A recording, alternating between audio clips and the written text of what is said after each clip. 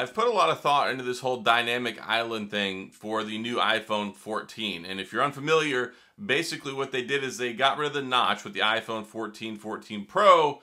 They have an, an elongated capsule looking shape around the camera that expands and takes on different shapes and sizes and purposes depending on what app you're using and what like notifications, interactions, complications, things like that.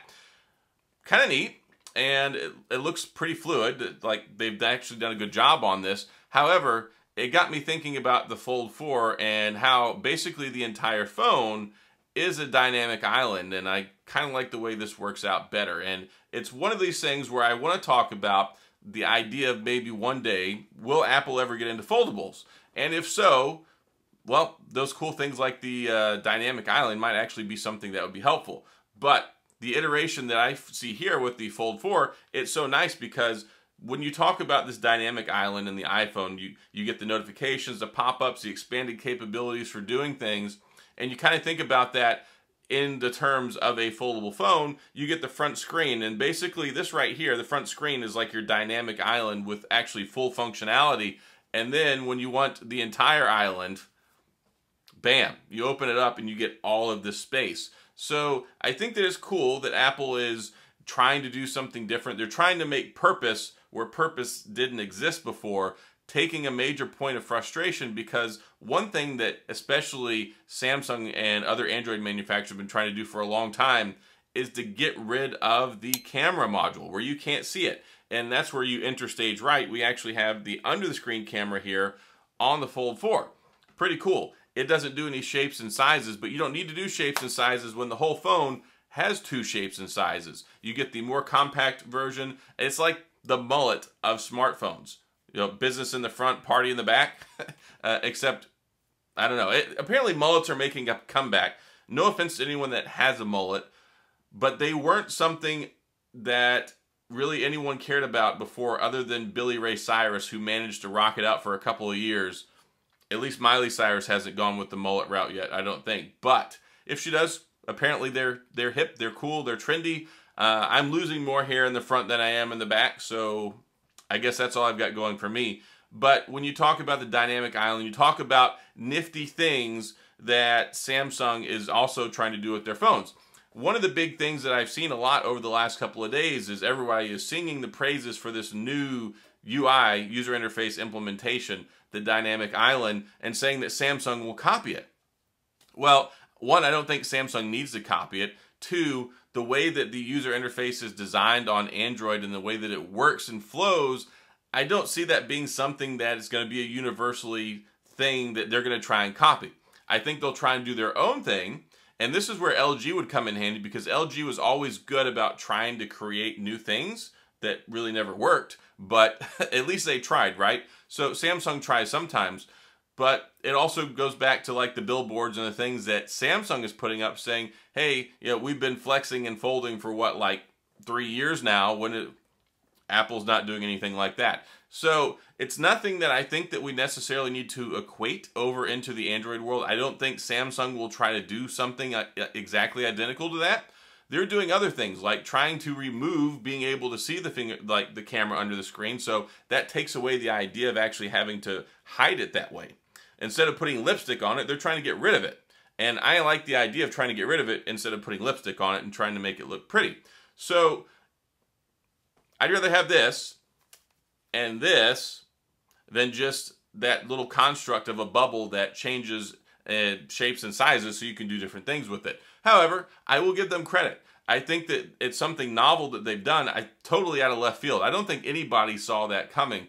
It was so crazy because when they patented, apparently they, I think they patented in like Jamaica, where you had to go and you had to basically file and search for pat, like patents in person, which is why nothing came up. There are people out there who so closely watch these things so they can report them, so they can talk about them, so they can leak them. This patent was filed I, I think it was Jamaica. If not, it was some small Caribbean island. And the only way you could search their records there is to go physically do it in person, at least from what I was reading. Crazy stuff that the Apple legal team was doing.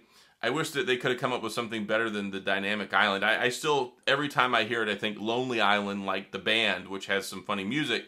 But again, Apple is not leading the innovative world here when it comes to hardware, and Samsung and Android are doing a lot of interesting things in that department. And I think that this, this dynamic island that has a small island that turned into a big island, uh, I think that this has a lot of merit to it, and I think that Samsung's done a great job with it, and I think they're leading the way. I thought about making a separate video about this, maybe I will, but there's a reason that Samsung is king of foldables, and that is the software experience. And there's a lot of ways that Samsung is leading in the Sam in the uh, sorry in the software experience, making things useful. And that's one thing that frustrates me. Still to this day, it's cool you can do cool things with that dynamic island bubble, but I still can't move my app icons where I want without having to completely shift the entire page. And for somebody who has clinically diagnosed obsessive compulsive disorder, it really irks me. Uh, it's so frustrating to me. Like I'll have to take screenshots of exactly how my icons are. So if something moves or changes, I can go put it back the way that I want it to be because it really. I don't like it. It throws my stuff off. So one of the great innovative things that's better, I think, than Lonely Island, than the Dynamic Island, using the taskbar on here. The taskbar is so cool. Now you've got this taskbar down here on the bottom. You can just pop in and out of different things. It's so easy.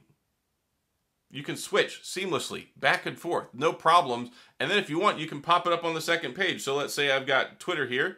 Bam, I'll drag that right there. I've got two screens working seamlessly like that. So I, I think that this is not a pro Samsung. Let's praise them for the things that they're doing.